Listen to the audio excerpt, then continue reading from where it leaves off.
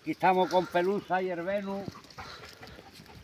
Que tenemos una tarde fresquita, hombre. Parece ser que el otoñano se está presentando malamente. Aquí ayer cayeron 10 litros.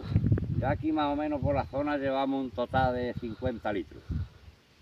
No va malamente la cosa. 50 litros en el mes de septiembre, la bellota y la aceituna, incluso la hierba ya verdeguea todo.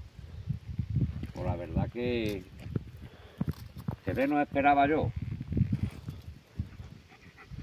En Benú ya está el suelo más blando y todo va a pisar. Mira el tango. Aquí tenemos una encina que está cargada. Hay muchas cargadas, pero esta es la que más cerca está.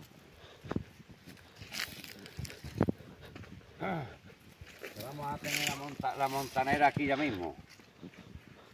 Las montaneras dice que se parecen a las corridas de toros. Cuando hay bellota hay pocos guarros. Cuando hay muchos guarros hay poca bellota. Y en los toros, cuando los toros son muy buenos, los toreros flaquean. Cuando los, toros los toreros tienen ganas de guerra, los toros se caen.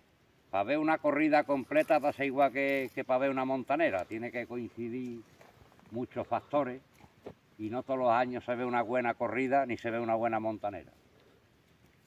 Y en fin, eso decían los, los antiguos, nuestros antepasados, que las corridas, las montaneras se parecían a las corridas de toros. Y después si vas a ver la bellota a una finca para alquilarla, no, no quieras verla de cercarrí, que decían que las bellotas, las bellotas y los toreros se ponían donde más los, los, viesen.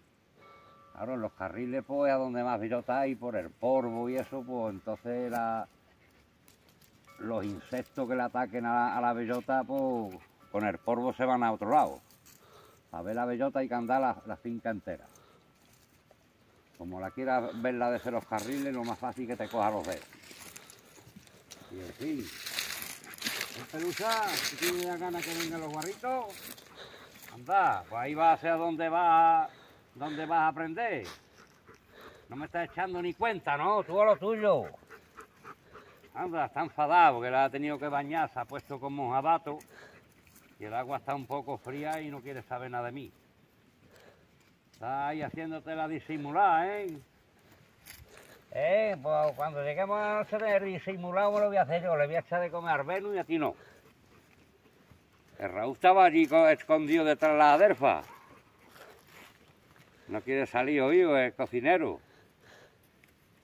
El cocinero del Mirlo Blanco. Ya da igual que, que te esconda. Está identificado. La, la carga bellota que tiene, que tiene esta. Usa. No hacer las paces conmigo, ¿no? Por verte mojado. No, este padre te voy a llevar a ti voy a montar en el coche llena de barro. Anda, mira lo que te has encontrado, un premio. Mira cómo está la bellota. Enfócale con la cámara.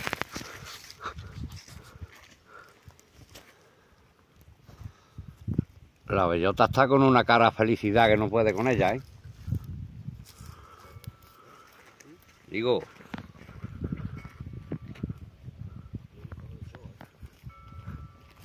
No se aprecia muy bien, pero bueno. Ahora sí que se aprecia. A buen entendedor con pocas palabras basta. Mira qué buen paisaje tiene, tiene el cerro este en la puesta del sol. Cámara. Hoy tengo otro cámara. Así me dicen algunos seguidores. Dije, tiene más cámara que Canar Sur. Lo que pasa es que ganan menos que lo de Canar Sur.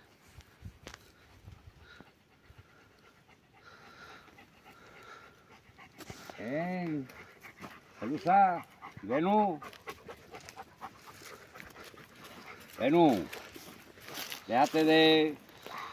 Ay, estos son los almorranos. Los antiguos, como no tenían móviles, ni tenían internet, ni tenían nada. Nada más que tenían 365 días en el campo, pues. Todas las, todas las chaquinuelas se las sabían. Esta es la flor de la cebolla almorrana.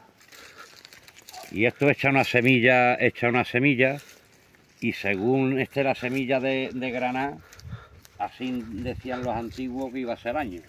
Si la, si la semilla estaba muy granada, decía que era año de grano. Si se quedaban medio andar, los antiguos movían la cabeza más para los lados que la vida. Y este es uno de los síntomas. Y mira la que esto ha salido a cenar y la fuerza que lleva. Fíjate, este va para arriba y está tan retorcido. Escucha, se ha dado una huerta. Todo porque no quiere saber nada con los largos. Mira, mira cámara la huerta que se ha dado lo que es la naturaleza, ¿eh? Este se ha independizado. O el hijo no es, porque quizás es el más viejo, lo que pasa es que ha echado un nudo para no crecer tanto. ¿Has visto? Bordarse la huerta ya no sirve para el baloncesto. Venga, hasta luego.